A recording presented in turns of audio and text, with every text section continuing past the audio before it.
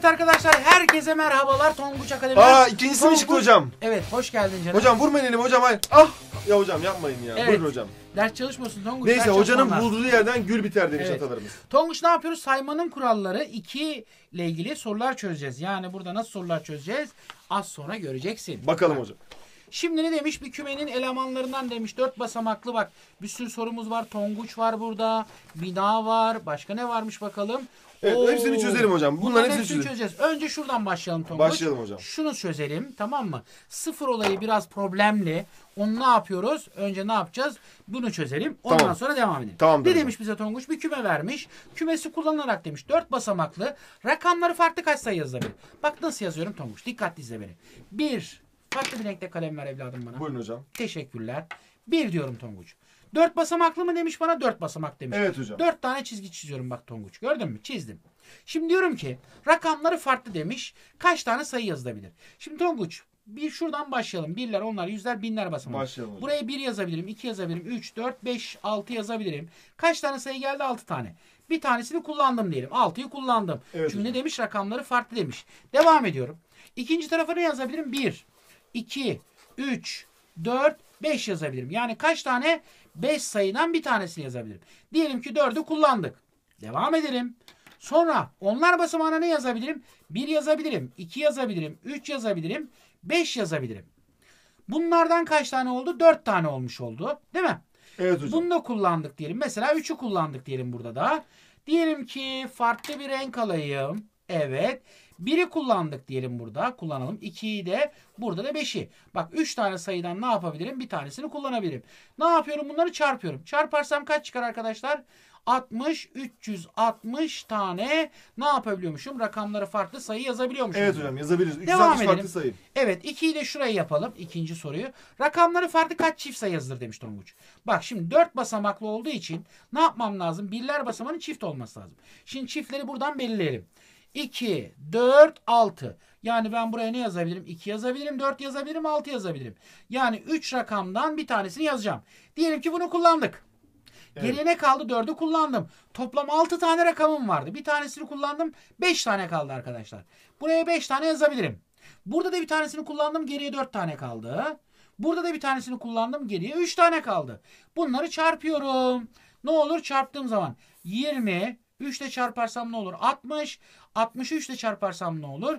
180 yapar diyoruz. Neymiş? 180. Rakamları farklı kaç tane çift sayı yazabiliyormuşuz? 180 tane 180 tane. Peki rakamları farklı kaç tek sayı yazılabilir demiş. Bakalım hocam. Çok basit. Rakamları farklı tüm sayılardan çiftleri çıkartırsam geriye tekler kalacak mıdır Tonguç? Kalacaktır hocam. O zaman ne olur?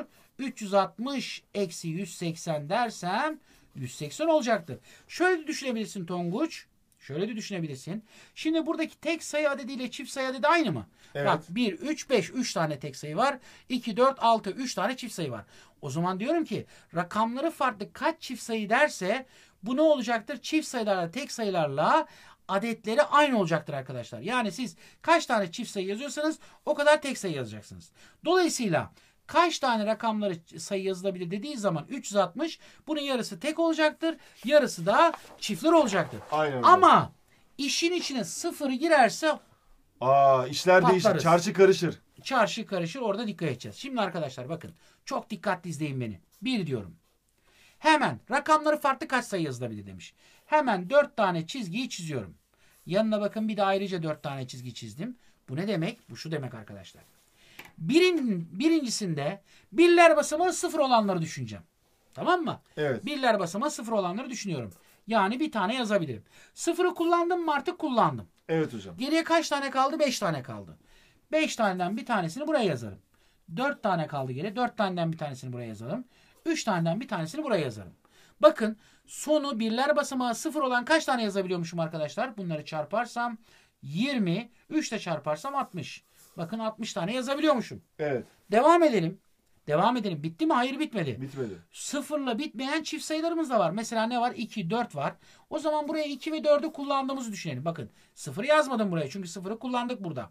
Sıfırı buraya yazmadım. Çift, sıfırla biten çiftleri yazmıyorum. 2, 4, 2 tane var. Bir tanesini kullandık. Şimdi bundan sonra hemen arkadaşlar binler basamağına bakıyorum. Çünkü neden? Benim sayılarımın arasında sıfır da var. Ama burada sıfırı kullanamam. Hangilerini kullanabilirim? Biri kullanabilirim. 2'yi kullanamam çünkü burada kullandım birler basamağında. Sıfırı kullanamam çünkü ilk sayı sıfır olamaz. Evet. Sonra 3'e geçiyorum. Sonra 4'e geçiyorum. Sonra 5'e geçiyorum. Ne oldu arkadaşlar? 1, 2, 3, 4 tane kullanabilirim. Kullanabilirsiniz. Diyelim ki bunlardan 3'ü kullandık. Geldim buraya. Şimdi sıfırı kullanmış mıydım ben burada? Bakın burada kullanmadım. Burada da kullanmadım. O zaman sıfırı yazabilirim buraya. Başka ne yazabilirim? 1 yazabilirim. 2'yi burada kullanmıştım. 3'ü burada kullanmıştım. 4 yazabilirim. 5 yazabilirim. 4 tane de buraya geldi. Şimdi bunlardan bir tanesini kullandık diyelim. Buraya ne yazabilirim? 1, 4, 5 yazabilirim arkadaşlar. Ne oldu? 3 farklı durum olmuş oldu. Bunları da çarpıyoruz. Kaç çıkacak? 16, 48. 48 2'yi çarp evladım. 96 mı yapar? Bak buradan da 96 çıktı. 60 burada vardı. Yani birler basımı 0 Evet. olan. Birler basımı 2, 4 olan da 96 tane var. Toplarsam bunları 60 artı 96 diyorum. 156. 156 tane ne varmış Tonguç? Çift sayı varmış. Rakamları farklı çift sayı varmış. Evet. Peki rakamları farklı kaç tek sayı yazılabilir demiş. Bakalım hocam. Şöyle yapıyoruz Tonguç bunu. Ee, pardon çift sayı demiştik biz burada ne yaptık? Rakamları farklı çift sayıları bulduk. Bulduk. Ama bize burada ilk sorumuzda ne soruyordu? Rakamları farklı kaç sayı Kaç sayı? bulunabilir diyordu. Biz iki numarayı yapmış olduk burada. Biri Anladım. değil de ikiyi Kısmet yapmış 2. olduk. Zaten tamam burada da 1, 3, 3 yazmışız hocam. Herhalde Evet kafa Evet. gitmiş bizim burada. Baştan bir sıkıntı Evet başlamış. şurada 2 diyelim. Evet arkadaşlar şimdi biz burada ne yaptık? 2'yi çözdük. Çünkü rakamları farklı kaç çift sayı yazılır demiş. 0'la ve 2 4'le. Şimdi normalde rakamları farklı kaç sayı yazılabilir? Onu bulalım arkadaşlar. Şimdi bakın ne yapıyorum? 4 tane yazdım. Şimdi önce arkadaşlar burada binler basamağından başlıyoruz. Neden? Çünkü işin içinde sıfır olduğu için binler basamağında sıfırı kullanamayız. Ne kullanabiliriz? Biri kullanabilirim. 2'yi, 3'ü, 4'ü, 5'i. Yani 5 tane rakamdan bir tanesini kullanacağım. Ama diyelim ki burada 5'i kullandık. Geriye kaç tane kaldı? 4 tane kaldı. Ama bir de 0 var mı? Var. Onu da kullanabilirim. Bakın o zaman ne olacak? 5 tane olacak. Şimdi 5 tanesinden bir tanesini kullandık diyelim. Geriye kaç tane kaldı? 4 tane. Burada da kullandık bir tanesini. Geriye kaç tane kaldı? 3 tane. Hemen çarpıyorum arkadaşlar. 25. 4 ile çarparsam 100. 3 ile çarparsam 300. Bakın rakamları farklı kaç sayı yazabiliyormuşum? 300. 300. Rakamları farklı kaç çift sayı yazıyordum? 156. 156. E 300'den 156'yı çıkartırsam tekleri de bulur muyum Tonguç? Çok net bulursunuz hocam. 300'den 156 çıkarsak 144. 144 tane ne varmış?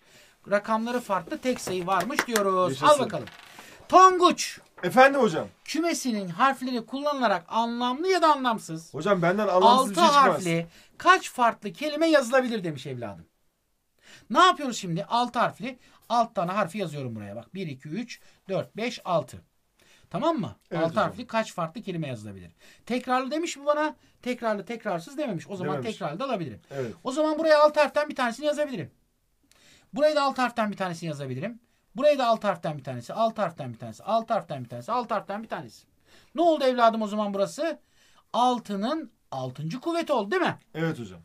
Şimdi bak kaç farklı kelime yazılırla rakamları farklı, harfleri farklı kelimeyi karıştırma tamam mı? Anladım. O çok farklı bir şey. Tamam. T ile başlayıp Ç ile biten demiş. Hemen ikinci sorumuzu çözelim. Bak Tonguç ne yapıyorum? T ile başlattım. Bir durum var değil mi T ile başladığı Bir tane durum var. Ç ile bitti. Onda da bir tane durum var değil mi evladım? Evet hocam. Rakamları farklı demiş mi bana? Sadece kelimeler farklı demiş değil mi? Harfler farklı dememiş. Harf, e, kelimeler farklı demiş. O zaman ne yapıyorum arkadaşlar? 6 harfli. Bak 1, 2, 3, 4, 5, 6. Buraya ne yazabilirim? Artık 6 harften bir tanesini yazabilirim. Buraya da 6 harften bir tanesini yazabilirim. Buraya da 6 harften bir tanesini yazabilirim. Buraya da 6 harften bir tanesini yazabilirim. Evet. Ne oldu o zaman? Bunların hepsini çarparsam T ile başlayıp Ç ile biten kaç tane varmış? 6 üzeri 4 adet varmış diyoruz. Tamam mı evladım? Tamamdır hocam. 3'e bakalım. 4 harfli N harfinin mutlaka bulundu. 4 harfli diyor bak. 4 harf tane yazıyorum. 4 harfi yazdım. N harfinin mutlaka bulundu. N'yi buraya yazdım Tonguç. Tamam Yazdınız mı? hocam. Şimdi N burada da olabilir, burada da olabilir, burada da, burada da değil mi? Evet hocam. 4 tanesinden bir tanesi. Yani 4 durum var mı bir kere N'nin yer değiştireceği? Birinci ilk bas ilk harf olabilir, ikinci harf olabilir, üçüncü, dördüncü harf olabilir. Şimdi geriye kaç tane harf kaldı? N'yi çıkarttık diyelim tamam mı? N'yi görme. 1, 2, 3, 4, 5 tane kaldı değil mi evladım? 5 tane kaldı hocam. Buraya 5 taneden bir tanesini yazacak mıyım? Buraya da 5 taneden bir tanesi yazacak mıyım? Çünkü bana kaç kelime yazılabilir demiş değil mi? Evet hocam. Harfler farklı dememiş. Buraya da 5 taneden bir tanesini yazıyorum. Değil mi evladım? hocam. Ne oldu şimdi burası? Şimdi birinci harfimiz neydi bizim? Neydi? Değil Ne mi? harfiydi? Bir durumdu bu. 1 çarpı 5 çarpı 5. Yani 5'in kübü değil mi burası? Evet hocam. Ama çarpı 4 diyorum. Neden? Neden? Ne? Birinci harf olabilir. ikinci harf olabilir. Üçüncü, dördüncü. Yani ne? Dört yere gelebilir. Dört Aa. durum olabilir ne'de. O zaman ne yapacağım? 5'in kübü çarpı 4. Evladım ben şununla biraz oynadım. Bak bakalım görüntüye eğri büğrü olmuş hocam. mu? 5'in kübü 125. 4 ile hocam. ne yapar? Sıkıntı 600 yok. yapar. Evladım ne yapıyorsun sen? Kalem düştü hocam. 125 4 ile çarparsan 600 yapar değil mi? Evet hocam.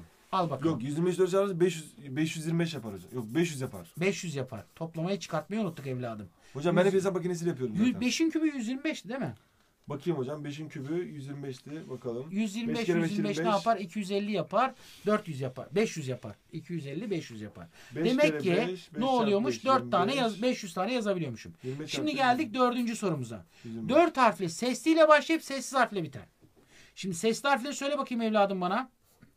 Hocam 125 çarpı 5 bu arada şey. 125 çarpı 4. Ha 125 çarpı 4 tamam. 125 çarpı 5 de 625 veriyor. Ben de hesap makinesiyle yapıyorum. Tamam. Peki evladım Efendim? harfleri biliyorsun değil mi? A, E, I, I, O, Ö, U, Buradaki Ü. sesli harfler ne? O ve U O mu? ve U. Yani ben buraya iki taneden bir tanesini yazabilirim değil mi? Her türlü. O veya U'dan bir tanesini yazabiliriz. Evet hocam. Sesliyle başlayıp sessiz harfle bitecek demiş. Sessiz harfler neler? T, G, Ç. Yani T, N, G, Ç.